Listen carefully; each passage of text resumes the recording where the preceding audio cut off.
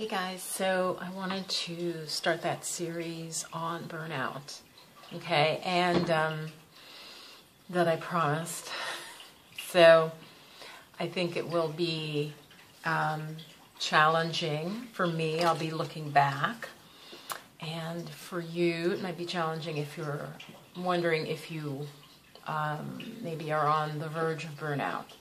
Now, I'm not going to give you a scientific um, definition of burnout. I'm really talking here from personal experience. Um, so, you know, what is burnout? What is burnout? I think we each might have different ways that we feel that we know we're like challenged, we're right at that edge of burnout.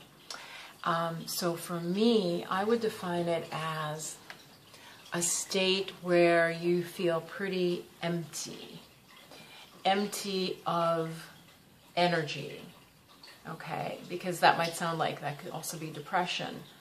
But I'm going to say that burnout, it's like the well is empty. You feel like you've given and given and given as much as you can. And you've, it implies you've pushed past what was appropriate for you to be able to give. So um, you might know that you're feeling burned out and that you're suffering from it when you feel physically exhausted.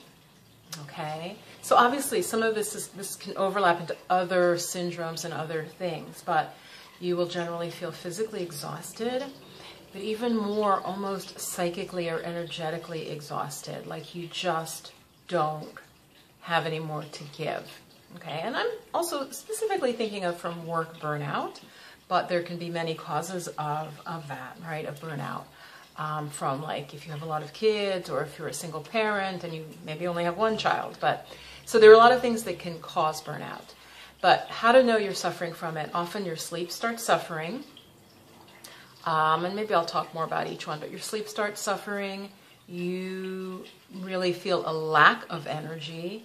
Um, there's a sense of dryness. So some of the stuff I'm mixing in spiritual and with with like physical. But by dryness it typically one of the symptoms i think i mentioned this in another video is literally dry eyes.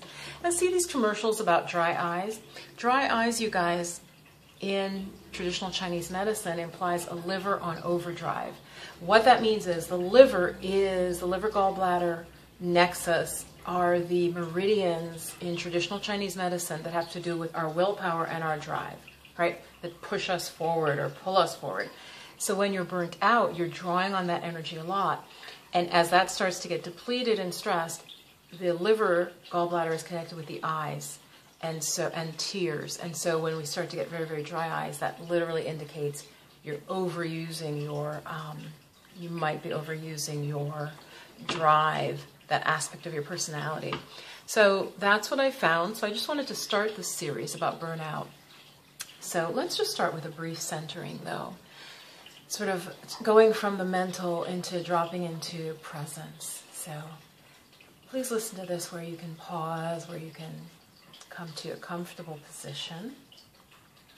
I'll give you a moment to do that. Pull your spine up nice and tall and feel that the heart center is open, so the shoulders are down. You have an open, relaxed posture not caving in on yourself, but open heart, shoulders relaxed. Just feel your own presence. The easiest ways to do that and quickly are feel your feet, feel wherever there's contact with support, like the buttocks, the thighs if you're sitting, the feet. If you're standing, you may just really tune into the feet. And then the breath. Feel that nice, deep breath, that life force coming in through the nose, expanding your ribs, expanding your torso, and filling you with life, light, and energy. So, really coming into presence. So, you, this is something that will be very personal to you. You have to know and be honest with yourself if you're on the edge of burnout, okay?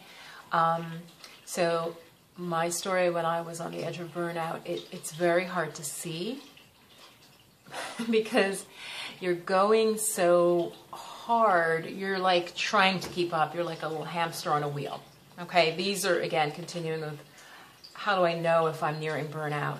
You're like a hamster on a wheel. You're just running, running, running, running, running to keep up with whatever this goal or idea that you have in your mind is. Now, you may say, well, that's coming from outside me, and that's absolutely true. It may be as well.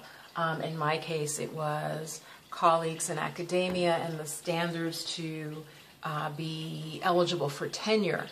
So it may come from outside you, yes, but then, as always, we're in co creation. So, how do we do that dance where there are outside forces and then there's our inner world and our needs? Okay, and so that's really the question.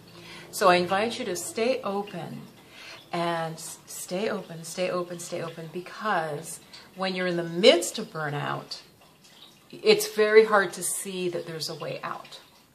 Okay? when you're in the midst of burnout, it's very hard to see that there is a way out of it. It's like an airplane, really, I mean, it's a terrible analogy, but it's like an airplane going down. There is someone at the controls, okay? It's about can we wake up that inner being who's at the controls and take back control? and rather than having it be just outside forces. So I know that can be very difficult to hear if you are currently really in the midst of it because I remember from my experience. Okay, so you know you might be suffering from burnout when this starts to resonate with you. You feel like you're running endlessly and you're not keeping up. You don't feel that you're um, showing up in the way that you'd like. Like in my case, um, what happened was I felt like, you know, I was doing as much as I can and I would go home and I would continue to work. So it, it also touches into work, work, a workaholism, right? So you keep going and going and going. I mean, that's when we literally have a certain amount of fuel. Again, and holistic understanding. Ayurveda, coming from India and other holistic um, um, methodologies like traditional Chinese medicine that have been tested for thousands of years. And even in the West, they'll say, you know, somebody has exhaustion, right? You hear of a star who just collapsed from exhaustion. They've pushed themselves too far. So we all have a limit. It's like we're we're filled up at birth. We have a certain amount of energy. And as we go through life, we're drawing on that energy. And unless we replenish it, and there are very specific ways to replenish it, it's a process of literally withdrawing taking away, taking away, taking away. And that's when we start to see aging, okay, which does happen, right? We're using up that, that life force, that chi that we were born with. And so when you're nearing burnout, you're literally like burning the candle at both ends. You're burning through your storehouse of chi very, very quickly and you're reaching the bottom. And so if, if you think of it as like a pot that had something boiling in it, you're just like you're getting to scorching. There's nothing there. That's why I mentioned that quality of dryness. I felt it. It's it's like you just you're almost like a dry branch that just could snap. Okay, so I encourage you to maybe journal about, you know, ask yourself the question: um, Am I feeling burnt out? And how how would I know that? How do I know that? And just spend 10 or 15 minutes writing in a journal, or if you just want to speak, like recording how or what makes you think that you might be nearing burnout. What are the signs? What are your signs? What are your symptoms? For instance, for you, it may be one of your symptoms may be that you're not cooking as much, you're just grabbing food on the go, right? And you're grabbing food you wouldn't even typically eat, but you're just grabbing it because you're just so focused on this goal you feel you have to meet. So, the definition of burnout is a sense of running to meet a goal or expectation and feeling you're not accomplishing it, but you're giving your all and you're feeling more and more tired and more and more exhausted. So I'm going to leave it there. As I said, do uh, do some journaling and see for you, look at your life and, and say, is this, you know, what are some signs that I'm not uh, not happy and that I'm nearing burnout from pushing myself, from that overdrive. okay? Because, of course, like I said, there are different syndromes that cross into this and they can overlap, like depression, like anxiety, or whatever. But when I talk about burnout, it usually comes from that, that, that ultra focus. And I feel, especially for women, um, it's been, this is getting to the peak of it. We're trying to accomplish as much as we can. Often we're doing the child care as well, nurturing friends and so on, and family tends to fall more on women's shoulders, and we're also doing work, job, career. So it's not even about work-life balance. It's you know, it is about balance. Can can we balance it? Can you balance what your expectations are for yourself? And do you have to? Um, are these expectations supportive or, of you or not?